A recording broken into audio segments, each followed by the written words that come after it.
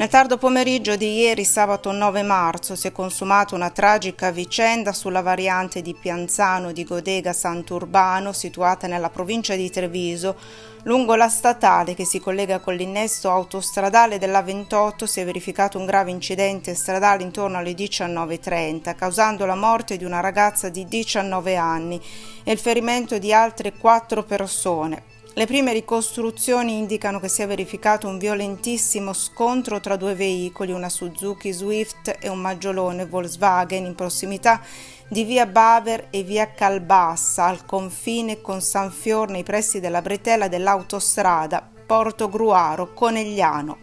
Una delle vetture coinvolte si è ribaltata trasportando al suo interno tre giovani donne, di cui una diciannovenne che ha perso la vita.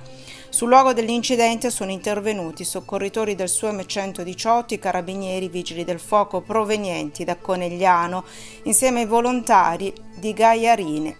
Questi ultimi, con l'ausilio dei vigili del fuoco, hanno messo in sicurezza i mezzi coinvolti ed estratto con tempestività le giovani donne dall'auto ribaltata. Purtroppo, nonostante gli sforzi del personale sanitario, la vita della ragazza di 19 anni non è stata salvata. Le altre due occupanti, entrambe diciottenni, sono state stabilizzate dai medici e trasferite negli soccorso all'ospedale di Conegliano mentre un ragazzo di 17 anni è stato portato all'ospedale di Treviso.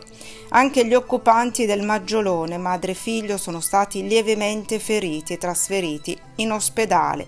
I carabinieri hanno deviato il traffico nella zona e al momento sono in corso i rilievi per determinare le cause di questo drammatico incidente stradale.